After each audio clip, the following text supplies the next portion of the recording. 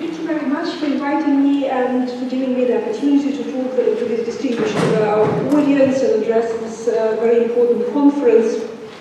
Uh, like Catriona Kelly, um, I've been wondering how to frame uh, a keynote presentation, and I've been worrying that uh, mine is kind of framed very narrowly, but at the same time, uh, the, the, issues which I studied in relation to uh, the projects have been mentioned, uh, in a way, unfortunately, are becoming more and more topical. So I've uh, kind of decided to keep this narrow frame, but uh, in, in, a hope that the topicality of the issues will be of uh, interest to uh, this diverse audience.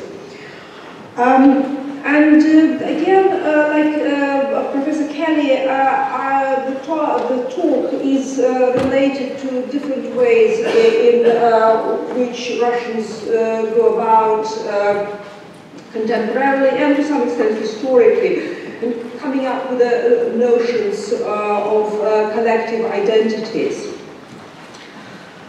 Um, now, uh, if one looks at the literature on uh, nationalism, theoretical literature, we see a lot of reference to the importance of uh, the media and communication technologies uh, to the successes of uh, nation building. And uh, in this context, it's in a way surprising that there is not that much work specifically on nationalism and uh, particular media. And uh, most of the work which exists tends to look at um, uh, the relationship between media and conflict, and less so um, um, on the issue between media and national cohesion. And when media are studied, uh, studied for actually uh, purely pragmatic reasons, usually print media on our internet are researched, and less so television. So the importance of television as a nation-building tool is studied actually less than its societal importance warrants. And so um, my research in the last few years has been linked to attempt to uh, fill in this gap. Uh, now, uh, we uh, kind of know, uh, and particularly uh, in the context of Ukraine crisis, we could see how much Putin's regime has used television as a tool to disseminate its message. And some scholars have argued that that actually kind of betrays the Russian regime outdated um, uh, understanding on, of communication technologies. But uh, again, here one shouldn't overemphasize the specificity of Russia. Television in uh, many uh, other contexts continues to play a very important role as a kind of nation-building tool, and that's because uh, new technologies very often create, yes indeed, strong group identities, but these uh, groups are much smaller than the nation. To some extent, new technologies fragment societies as much as they unite We uh, also, again, one has to justify why, why one looks these days at kind of national identities rather than global or transnational ones, and for some time we've heard uh, scholars arguing um, that uh, we now live in post-national age. But uh, lately, rightly so, this kind of uh, notion has been questioned because, um, in fact, not only Putin's regime, but uh, many governments react to globalization and unprecedented, let's say, population flows, which um, it unleashed by fortifying the nation uh, with reference to kind of real or uh, perceived uh, security threats. And we know that um, from uh, the beginning of uh, this millennium, the Russian government had, at least at the discursive level, the rhetorical level, put kind of nation building at the top of its agenda. But in this um, in, in, this context, we have to ask the questions of who are kind of the actors in the construction of official discourse uh, in general, and certainly the official discourse of the nation in Putin's Russia. And uh, my interest in television um, uh, has drawn my attention to the importance of what uh, media sports called media events, and I'll explain uh, in a few moments what this term refers to. And uh, again, we could uh, think about how this uh, discourse of the nation has changed uh, in the last 10 years um, or so. And I'll make four interconnected points, because uh, again, there is a tendency not just among uh, journalists, but also some scholars, to overemphasize the importance of the Kremlin, let's say Putin, in articulating various narratives of nationhood. Uh, and uh, I would be uh, showing that the Kremlin um, is not the, only actor and uh, sometimes not even the most important actor, uh, even though in the context of the Ukraine crisis, uh, its role in shaping the parameter of the debate has increased. Uh, and I've been interested uh, in, uh, for some time, in the role of so-called public intellectuals, and it might be a misnomer in a way. These are people close to the Kremlin. We've already mentioned their names here, like Prokhanov Dugin, and also media personalities like Kiselyov, of course, Mamontov, Shevchenko. Um, again, uh, the role of the kind of public in the interest of the government in the kind of public mood uh, is much greater than it used to be the case in the Soviet period and has to be factored uh, into it. And uh, for some time now, and certainly in the context of the Ukraine crisis, we have uh, seen uh, a very significant ethnicization of the official discourse of the nation. In a way, it's a paradox that international media talk about uh,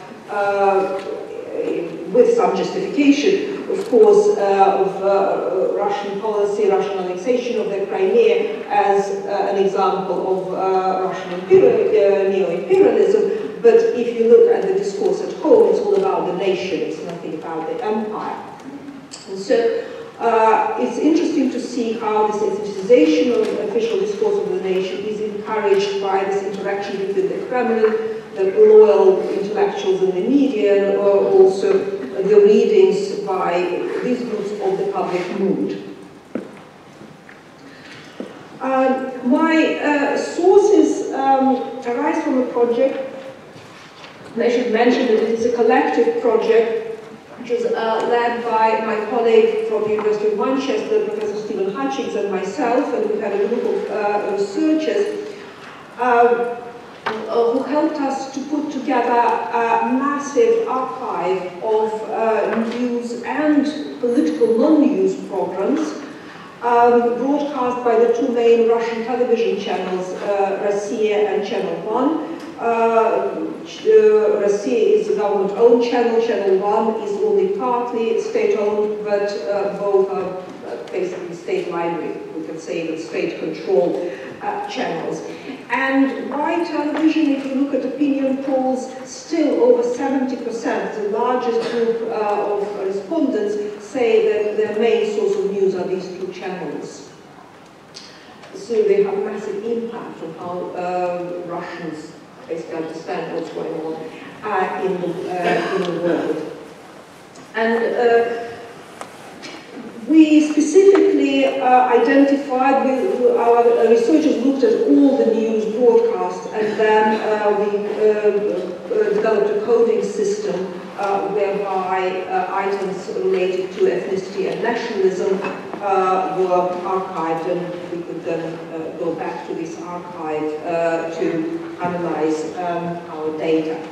And um, so the monitoring um, took place between 2010 and 2014. Uh, and then we had a follow-up uh, funding where our researcher, Yuri Teper, looked specifically at the coverage of annexation of the uh, Crimea, and uh, these findings are coming out um, uh, in the Journal for Soviet Affairs. Uh, I'll start by uh, saying uh, a couple of words on the period pre-2012, uh, because this will be then see the start of the kind of really very new developments to a large extent, and then I'll focus in more detail um, on Putin's third presidential term. Uh, so if we look at uh, this earlier period, um, broadly speaking, this is a time of uh, managed pluralism, and actually we were surprised to see uh, a greater diversity of views represented by one way or the other on uh, these two channels than we had anticipated. Uh, even though very often this kind of pluralism is clearly very staged. Uh, and uh, viewers were already kind of stirred into kind of uh, understanding this position is, from the point of view of the regime is more acceptable than the other, but still sort of managed um, pluralism. Uh, already the government was talking about the importance of uh, maintaining ethnic cohesion and creating a compound identity for the people of Russia, but this was not reflected in the pattern of news coverage uh, because the relevant news uh, were um, constitute a very small percentage of the overall um, broadcasting. Uh, frequency here is between 6 and 8 percent. Frequency means the number of items from the overall um, number of news, and intensity is amount of time uh, devoted. And um, then, of course, quite a significant proportion, particularly in relation to controversial issues such as uh, uh, sensitive issues such as uh, violent conflict or migration, quite a lot of news actually about uh, developments outside uh, Russia. So it's clear attempt to show that uh, if Russia has problems, it's not kind of unique or specific to the country. and there was a kind of ambiguity about the discourse of the nation. On the, other, on the one hand, uh, it was represented as um, um, Russia was represented as a multi-ethnic society, multi-ethnic, multi-confessional, multicultural, that was its strength. Uh, you have here um, um, a quote from uh, Maxim Shevchenko, whom we interviewed in 2011. Now, I give the names of uh, these people whom we interviewed. Uh, they were actually very happy with us citing them uh, by, uh, by name. And in a way, the quotes I present here, they were uncontroversial, but some things they said were quite sensitive, and it's again interest difference, interesting difference with the Soviet times that uh, the celebrity journalists were not at all afraid to kind of speak their minds when talking to foreign researchers. Uh, and uh, again, I refer to Catriona's talk, and she's absolutely right that here uh, the celebration of multi-ethnicity of uh, uh, Russia uh, reflects uh, a, kind of idealization of the imperial experience, and that's a difficulty of formulating transnational identity or even national identity, which uh, is uh, could be made outside the sort of former imperial context. But at the same time,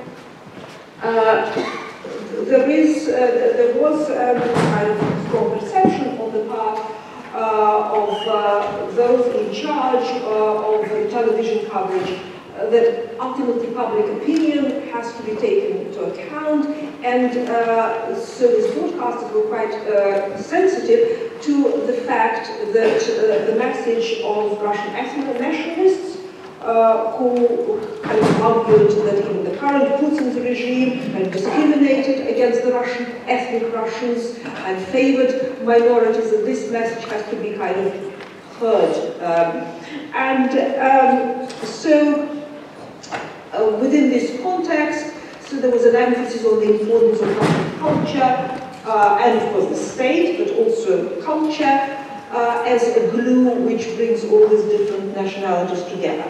And the overall pattern of coverage was very similar to what then Putin presented in his uh, election manifesto article of January 2012, where he talked uh, about Russia's multi-ethnicity strength, the importance of Russian culture, bringing all these different ethnic groups together, and also uh, central to this coverage was just a juxtaposition be between the positive experience of Russia managing multi-ethnicity and the failure uh, of multicultural model uh, in the West, which was uh, claimed to be sort of hypocritical and um, not um, working. Uh, the, the, situation changed very significantly post uh, uh, election, the election of Putin's third presidential term, and uh, previous demonstrations against, in a Isukov's um, virtual, uh, virtual politics and uh, managed pluralism. And the, the, government decided that there was a need to mobilize the population in kind of different ways, and television also responded by starting to develop new strategies. More time started to be dedicated to the discussion of issues of uh, ethnic cohesion, and uh, it was uh, clear to us, and to some extent confirmed by uh, the people we interviewed, uh, that television uh, channels, the two main channels, were in a way given a task to co-opt more overtly the message of Russian ethno-nationalists. So less celebration of ethnic diversity and more uh, kind of celebration of the ethnic Russian component of um, the nation. And I would say that, again, it's um, broad kind of, uh, of course, simplifying the situation. Uh, during the third uh, presidency of uh, Vladimir Putin, there was some repackaging of uh, narratives of nationhood. Uh, not new narratives, but in fact repackaging with new, new um, emphasis being put. And this image of um, shaped by isolationist Russian nationalism, which uh, wants to expel the kind of ethnic other from the national body, which Putin uh, uh, explicitly criticized uh, in his article, now started to um, kind of appear uh, in television news much more than uh, before. at the same time, the Kremlin continued to talk about Russia as the center of the Eurasian Union, Union and this Eurasian space is supposed to be uh, based on the history of interaction, peaceful interaction between Christianity and Islam. And of course, we already heard that a new narrative about Russia's traditional values um, had emerged, and it's in the context where the regime felt that a clear articulation of consensual values was necessary and sort of the ambiguity of the official discourse cultivated by Surkov uh, didn't pay off in a way. And uh, here is a quote from Dmitry Kiselyov, uh, I don't need to explain the, he is to this audience, uh, and he was very emphatic about the the his own agency and the importance of uh, the role of uh, journalists like him in the kind of producing narratives which are then quoted in the um, official um, discourse.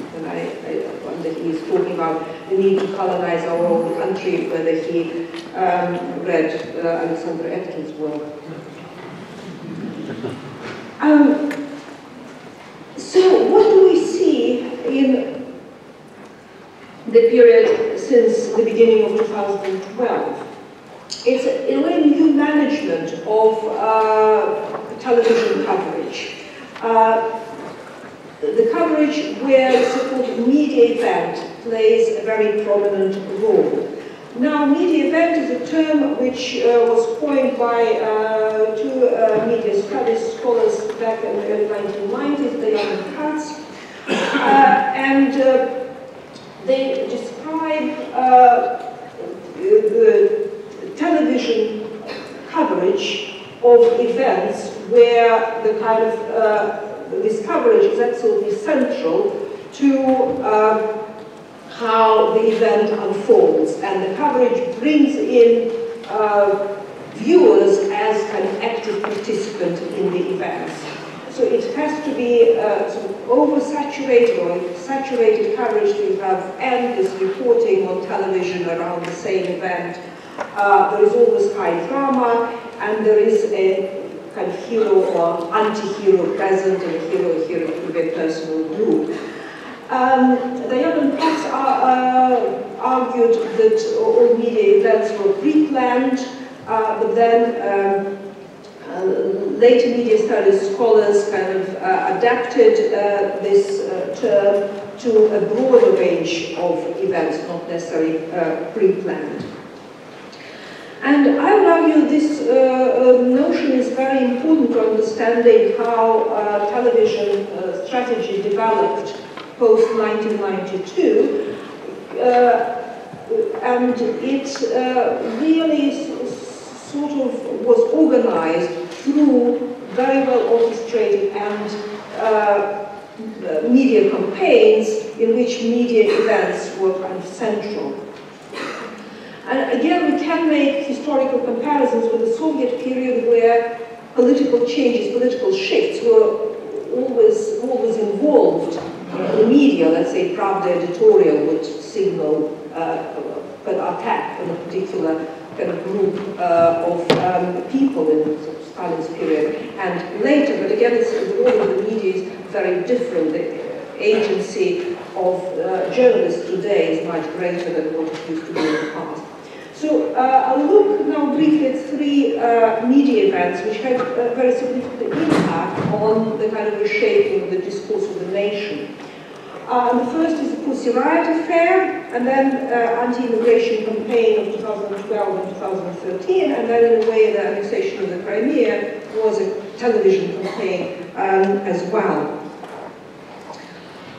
Uh, the Affair was a media event par excellence, uh, even though the decision uh, to um, arrest um, the members of the PAN group was taken at the very top of the political establishment, uh, the uh, event took its particular form through television coverage. Uh, and it's the television coverage that made this ultimately insignificant affair of the kind which had been ignored before, it turned it into a, you could say, a limit event. It, it was presented as the event which undermined or tried to destroy the very moral foundation of uh, Russian society. And in the course of so endless months of saturated coverage, you, one could see a very clear shift in official discourse, because television ultimately, the, uh, uh, these two main television channels, uh, they are very important agents in the production of official discourse. So uh, Orthodox Christianity became not a part of Russia, an important component of Russian identity, but the core uh, of identity of the Russian people.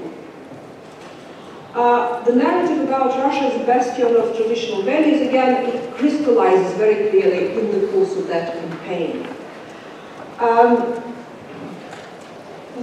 with the, um, can look uh, at the programs, Provocatory, again some of you have um, uh, probably uh, seen these programs, uh, broadcast by Rossiya channel and uh, they were made by uh, Arkady Mamontov, um, kind of notorious journalist who's even kind of controversial by the, by the standards of today's Russian media establishment. And his programs started by Mamontov asking the audience, his talk show, asking the audience, who are we? And every program uh, repeated the same answer, we are Orthodox. Uh, and again, this discourse of uh, traditional values developed. Uh, the, um, way the Putin regime tried to uh, manage society through polarization, uh, kind of in a way radicalized uh, during uh, this campaign.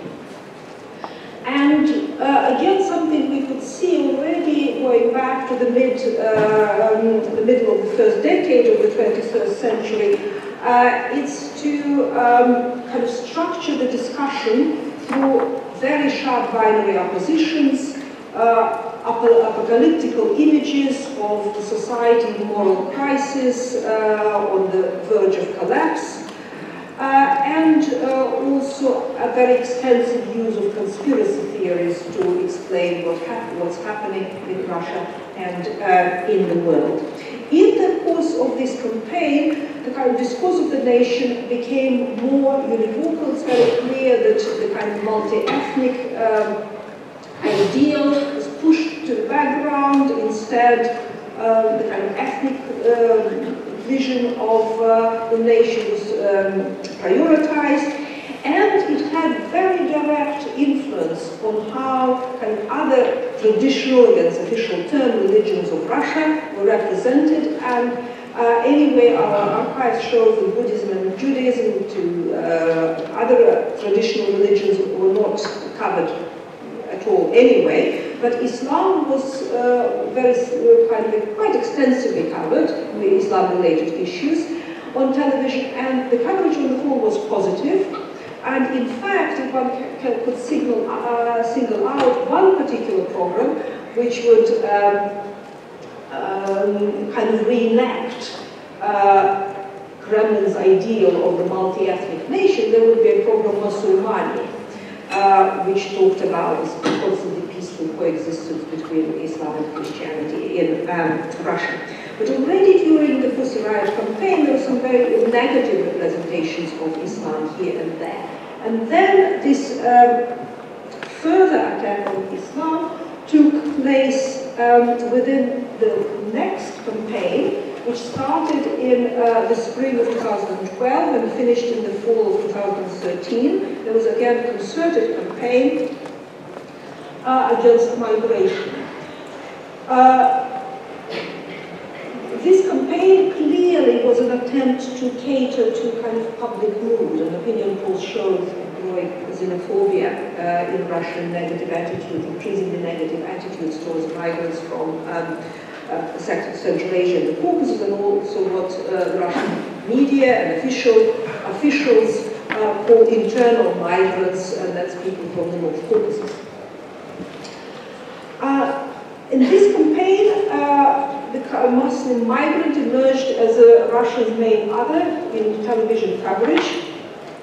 Uh, and interesting, very different image of Islam constructed compared to the earlier periods. It's a negative image, although the campaign was supposedly targeting radical Islam, what was called radical Islam, but in fact the line between radical and kind of Islam in general was blurred, and particularly uh, when uh, the riots in Stockholm in May 2013 and also the murder in um, London of a British soldier by um, Islamist radicals were turned into media events by Russian television. And there, there was a talk about Islam in general and incompatibility between uh, values of Islam and European values uh, the values of Christianity.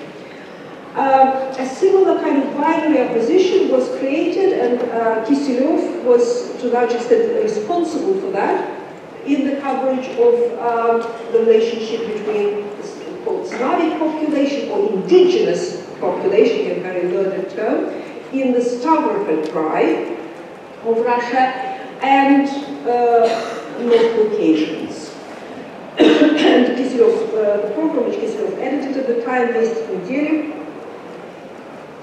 um, um, covered what the program called the invasion of uh, North Caucasians uh, into predominantly Slavic um, region, and that was again managed as a uh, media event.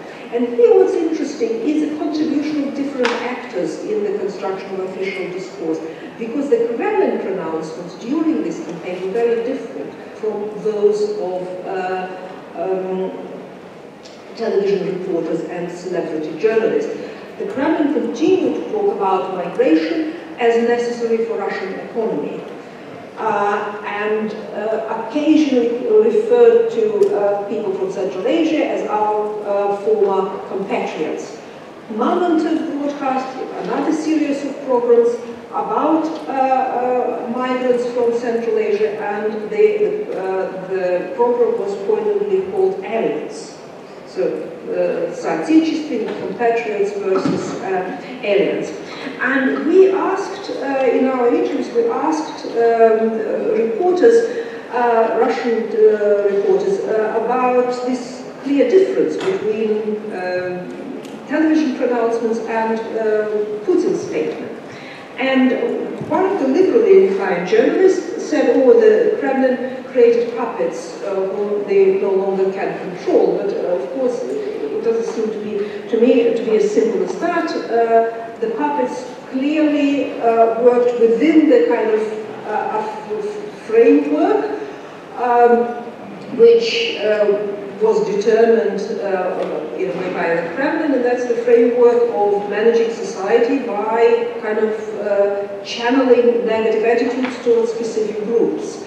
Uh, and sort of targeting a migrant in a way was a very um, easy populist which would suggest that uh, to an average viewer that the government is responsive to the public mood without uh, top officials having to make inflammatory pronouncements which could be offensive to particular citizens of the Russian Federation or the residents of, of uh, the country.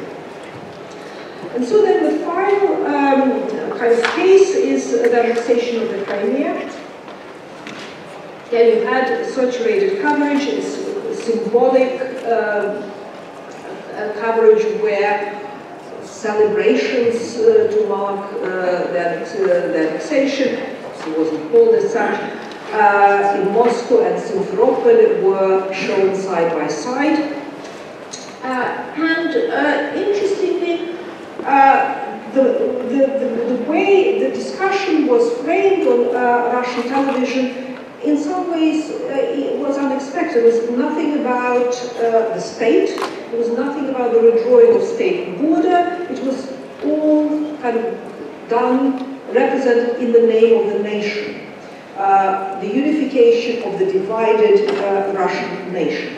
And the word uh, was almost never used in the coverage. It was all about Ruski, so the ethnic uh, term uh, for Russian.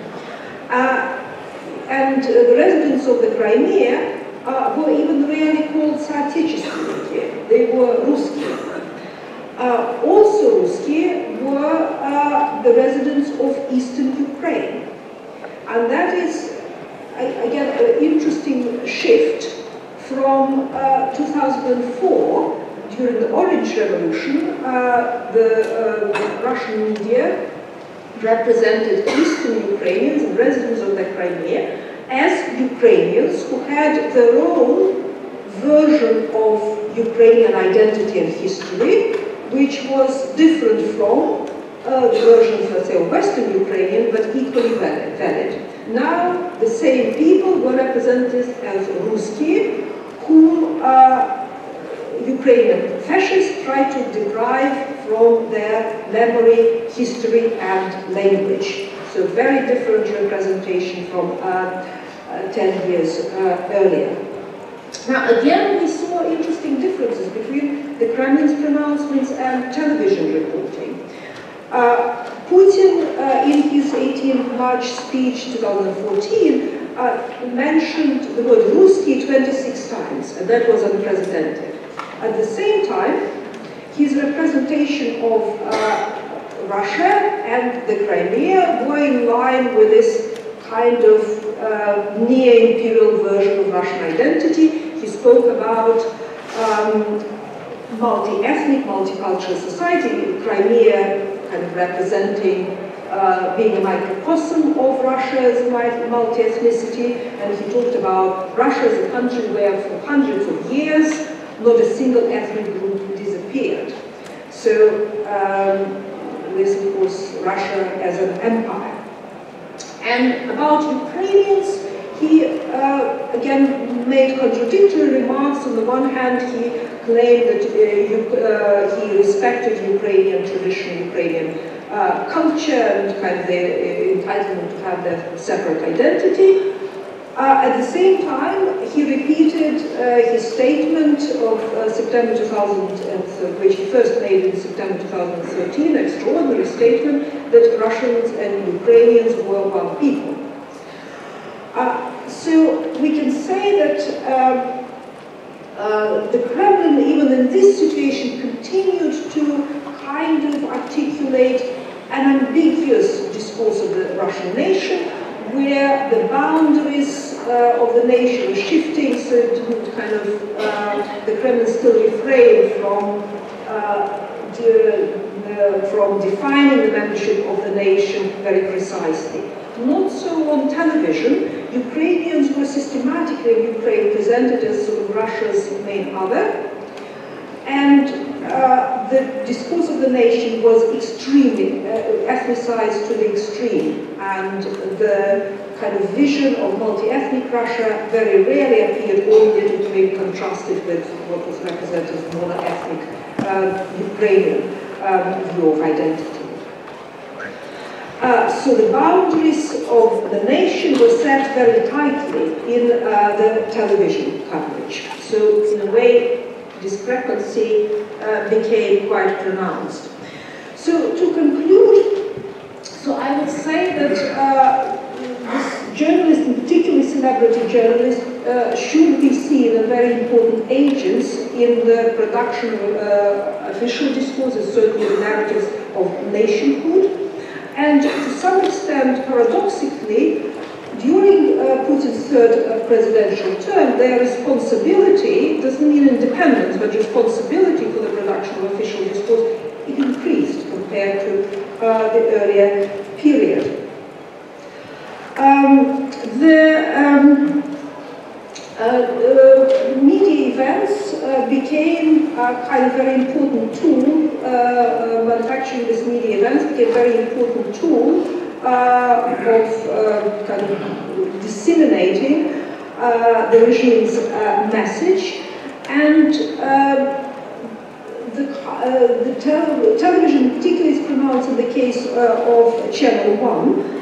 Uh, the, their kind of narratives have become much more populist than before, uh, exploiting uh, very overtly popular prejudices against migrants, against Islam, against uh, minorities.